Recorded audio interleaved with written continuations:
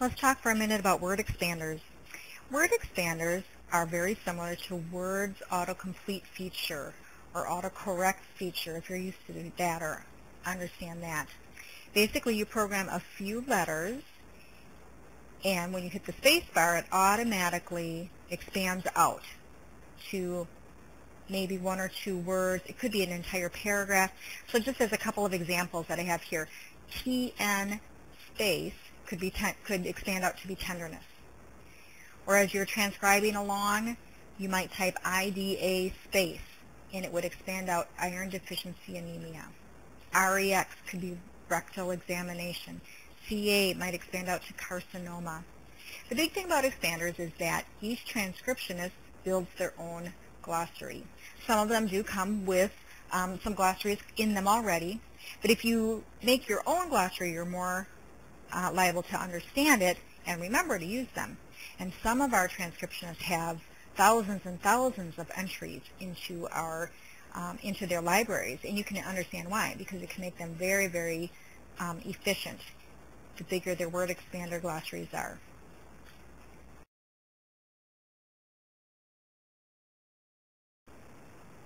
So while word expanders can be great for our productivity, we do have to be careful about proofreading um, because it can easily expand out to information that is not right.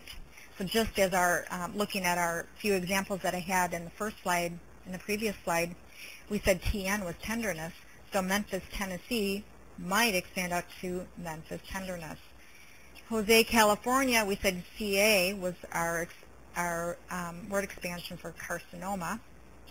Ida Robinson, a name, Ida, obviously, not iron deficiency anemia Robinson. And look at poor Rex Morris here, how he expands out.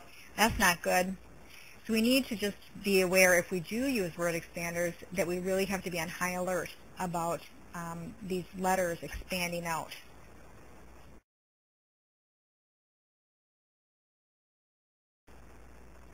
Similar to the word expansion software, also many companies use boilerplate paragraphs so these are pre-dictated paragraphs for each individual um, dictator, and they might say, put in my usual closing paragraph, or put in my number three paragraph. And these are, again, just pre-dictated paragraphs so that the transcriptionist can just, with the click of a few keys, can automatically get an entire paragraph of information out. Um, and it's great for productivity, but again, we have to be careful about how these expand out. Does it make sense? Does it make sense where the paragraph is? Sometimes the dictator will give you a number, and it's not always right. Does it make sense? So they're wonderful tools for productivity, but again, we just have to be on alert. Does it make sense where they're at in the report?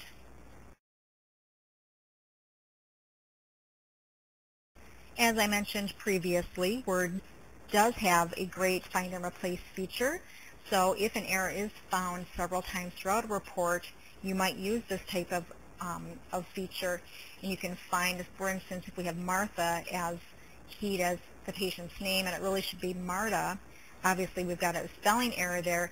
The way to make sure we've caught all of those errors would be to do the find and replace. In the find area, you would put Martha, replace it with Marta, and very quickly you could have all of those um, corrected.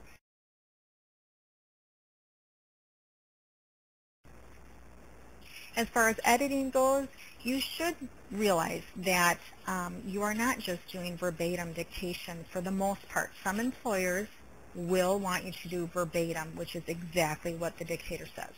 But in most instances, you are given full rights to do minor editing, as long as it doesn't change the meaning of what's being said or the style and personality of the dictator. Um, so what does that mean? Well, grammar is a big one um, dictators as they're dictating letters, maybe eating lunch, getting ready for a meeting. If they're doing this quickly, they might not, not use the correct um, grammar. They might dictate punctuation that isn't correct. You're the expert.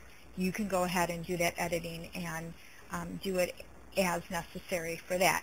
Again, as long as it doesn't change the meaning of what's being said or the style and personality of the dictator, you are um, able to go ahead and edit.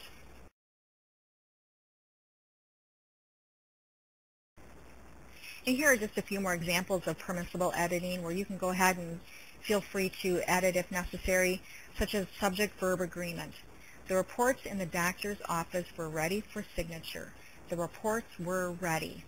Um, we want to make sure that they agree between the subject and the agreement. We wouldn't say the reports in the doctor's office was ready for signature. The reports was ready. Doesn't make sense, right? So we can go ahead and change something similar to that, subject-verb agreement. Um, word usage. The patient was lying on the floor. I seen the patient last evening. Is that right? No, I saw the patient last evening. Him and me were chosen to attend the event. Is that right? No. Him and I. How about the next one? She neither smokes or drinks.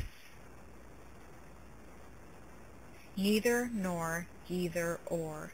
So she neither smokes nor drinks is the correct way for that one.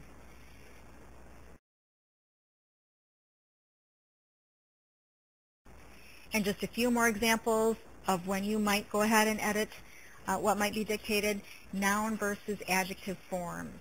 So replace the aortic valve. We would not say replace the aorta valve. Even if that was dictated, we would change it to aortic valve because we use it as an adjective there. Singular versus plural forms. The conjunctiva were inflamed. That's wrong. Conjunctiva is singular. So if we really are talking about more than one, which is usually the case, the conjunctivae, V-A-E, were inflamed. Or the conjunctiva was inflamed. We're really talking about one. More than likely we're talking about more than one. Almost always it's plural. Not always, but most, most times it would be. So it would be conjunctiva, conjunctivae were inflamed. And there are several of these types of medical words out there.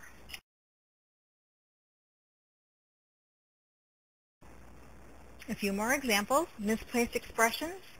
The patient had a hysterectomy, leaving one tube and ovary in Jacksonville. Hmm, that sounds kind of strange, doesn't it? We want to recast that sentence. While in Jacksonville, the patient had a hysterectomy, leaving one tube and ovary. Sounds a little bit better, right? We can also look at verb tenses. What do we do about this? Do we use a past tense in our paragraph, present, future? What do we use? Many dictators will mix these up within the same paragraph, and sometimes we're going to change that. The AHDI Book of Style has some information about it. Go out there and look it up and read it about verb tenses. What do we use? How do we change?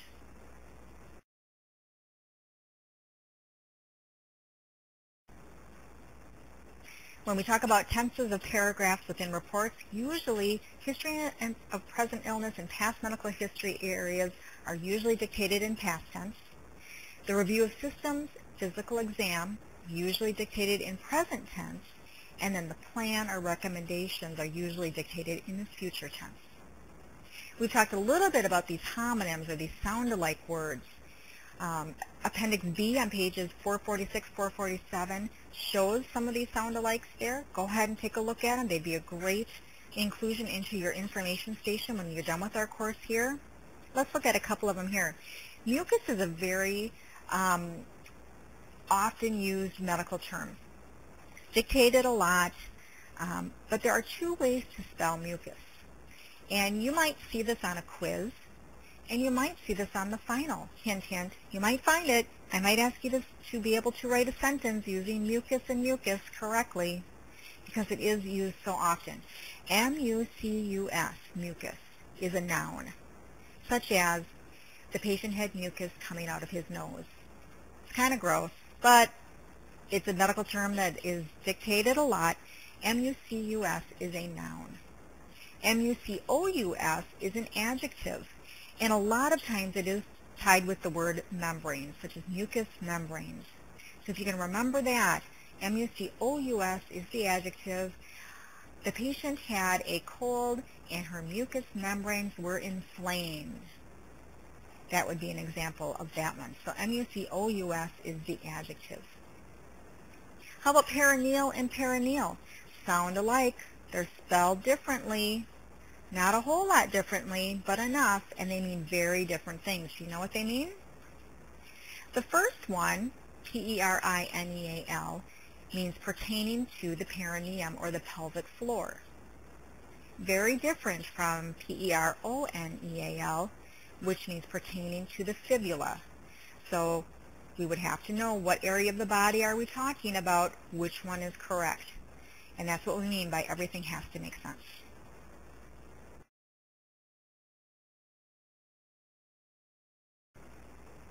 We talked a little bit about slang and short forms, brief forms when we talked about our um, abbreviations unit a couple of weeks ago. Um, but it is totally fine to go ahead and edit those. In fact, you should. We have a list in the back of our book that shows um, many of these brief forms and, and short forms that need to be changed or expanded out. So spell out abbreviated forms of complete words such as psych eval, which should be psychiatric evaluation, write out some of these other um, expressions that are used for real words, such as the patient was flatline and was pronounced. We would want to expand that out. The patient expired and was pronounced dead at whatever time. Again, find it in your book of style if you want to have a little bit more information about this. And our textbook does talk about these brief forms and slang that we really shouldn't be using even if the dictators dictate it.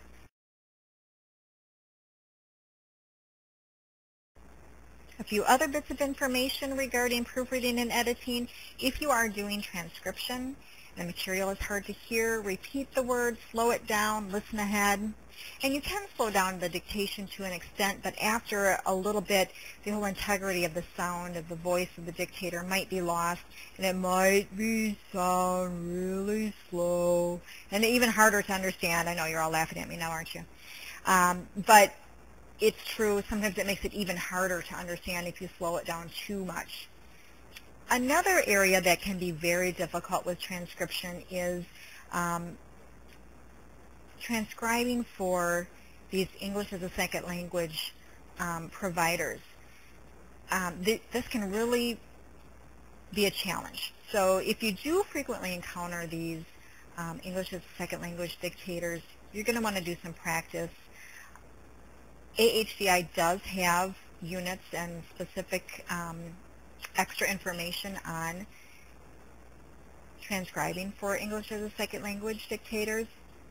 You might consider that. For that, my only real bit of advice is just practice. It's the only way to get good with those those types of dictators. Um, and at first it would be very, very difficult. I remember leaving tons and tons of blanks from doctors who were from uh, maybe China or Germany um, or India. Very difficult to understand. But in time, you do start to understand what they're saying, and they say the same things over and over. But at first, it can be very frustrating. So just to realize that it just takes practice with those English as a second language dictators. Odds and ends here. Um, avoid contractions. We've talked about contractions before. Unless it's in a quote, we're going to expand it out. She'll need to see a specialist. Dictators will say it like that. We're going to transcribe. She will need to see a specialist unless it's in a direct quote. Um, again, don't type material that doesn't make sense. You're going to flag it, tag it, card it, mark it, whatever your employer wants you to do so the dictator knows that there's a question out there.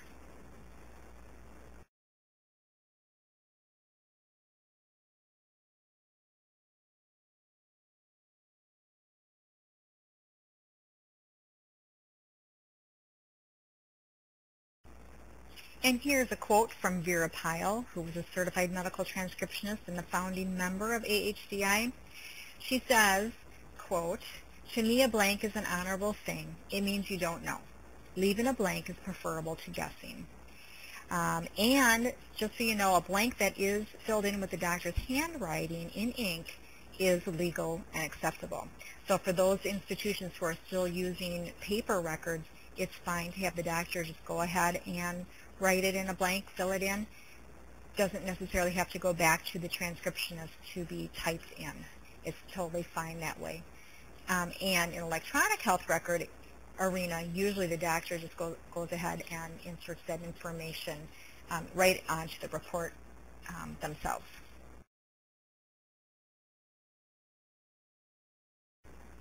And here's a list of, few, of a few strategies to proofread, some habits and hints to give a try. Proofread as you go, and don't go too fast. Read it on the screen before you print it. If you're doing transcription, replay it again if necessary. If you're allowed that, go ahead and do that. Sometimes, have you ever noticed that if you close it out and come back to it later, you'll find some mistakes? So cool off, read it again. Uh, read backwards, word for word. That will make you specifically focus on each and every word. Read it out loud. Have you ever done that?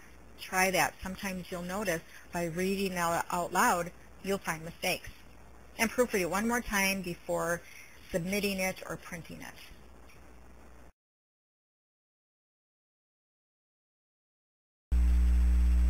Check out page 180 and 181 of your textbook. Notice the sounded like drug names here that are listed. Obviously, it would be a very critical error if you use the wrong drug name in one of your uh, healthcare documentation records. So be aware of, the, of some of these um, drugs that sound alike, and obviously there's a lot more than just what's shown in book here, but this is a good start.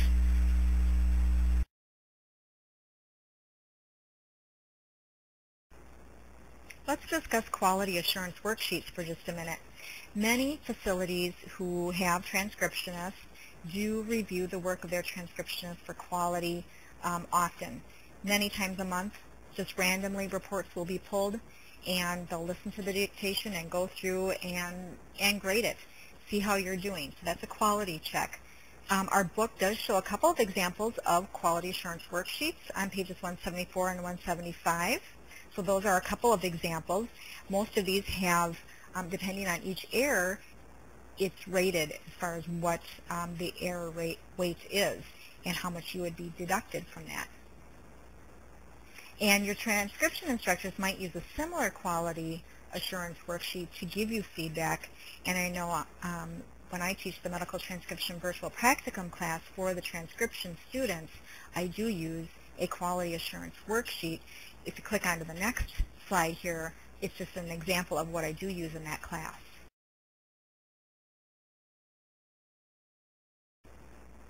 So this is the quality review um, cover sheet that I do use for all transcription assignments in the virtual practicum class for the medical transcriptionist students.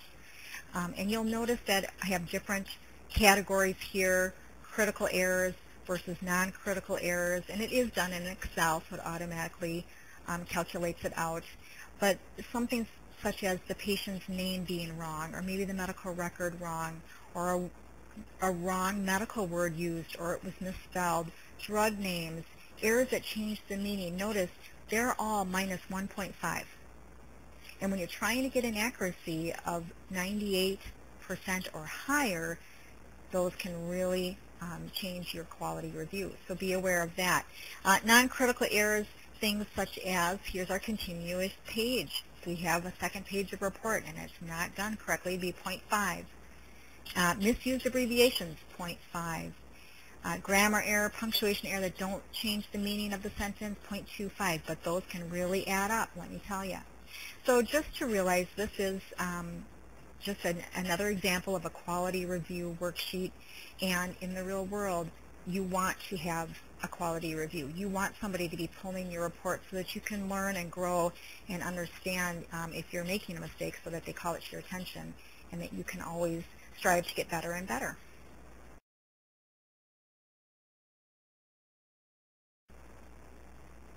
The main proofreader marks are found in our textbook on page 177 to 179, and you should know the main ones. Um, I do not test you on them, but I do believe that you do learn them in your medical or in your proofreading and editing course.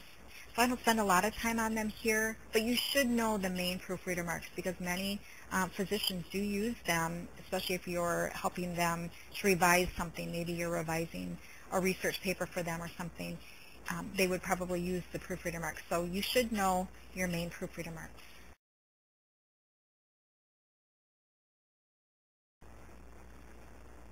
Knowledge is power, and the researching transcriptionist uses the lack of knowledge to obtain more knowledge, and this is what you as the beginner must really focus on at this point.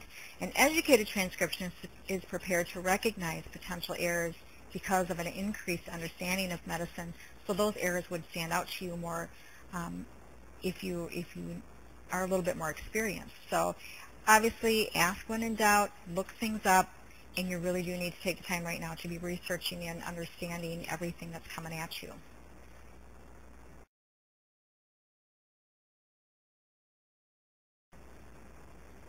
And the art of making corrections just states that most transcriptionists perform proofreading operations so skillfully and discreetly that the majority of dictators never even suspect that their dictation has undergone revision or that it needed it. So when we talk about permissible editing, for the most part, your dictators are not even going to know that you changed it. You make them look good, and that's, that's great. That's part of the job.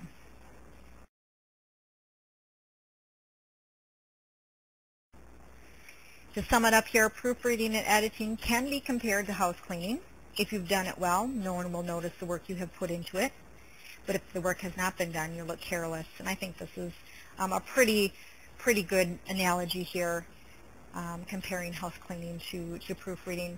When we think back to the very first beginning of this lecture when I, when I asked, you know, have you ever done anything that's made you embarrassed, sent something out with a mistake? I think we all know how that feels.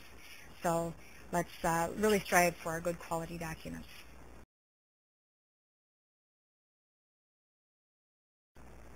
And before I sign off from this week's lecture, I have one more YouTube video here. Some of the information that you're going to see and examples that you'll see here are kind of funny. Uh, some of them are unbelievable that people actually um, made these typos. And think about the money and customer base that might have been lost because of the typos. So proofreading is obviously a very important topic too. I wish you all to have a great week, and we will be in touch soon. Thanks for listening to the lecture, and we'll see you later.